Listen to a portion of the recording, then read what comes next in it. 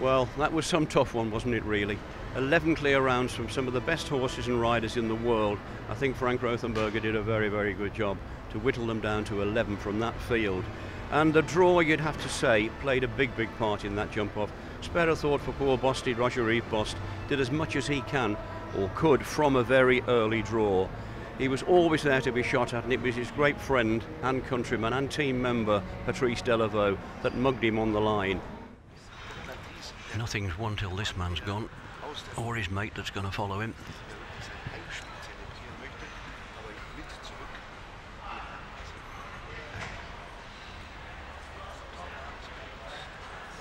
Now, he wants a real turn here, back to this Oxer. This is quick. Two strides, got the scope to do it. Lands in 24 again. This is very much on target. How fast can he come down this last line? From this vertical. Ooh! Go for it now, keep going. 40.78. Surely got him, hasn't he? I'm very, very happy. It's, uh, it's normally it's good for me for the qualification for the World Cup final. And uh, 40 points for me, it's uh, normally it's okay. It's very, very happy, very happy.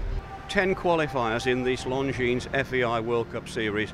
Seven down, three to go. Do join us just seven days away from now in Zurich in Switzerland. See you there. Bye for now.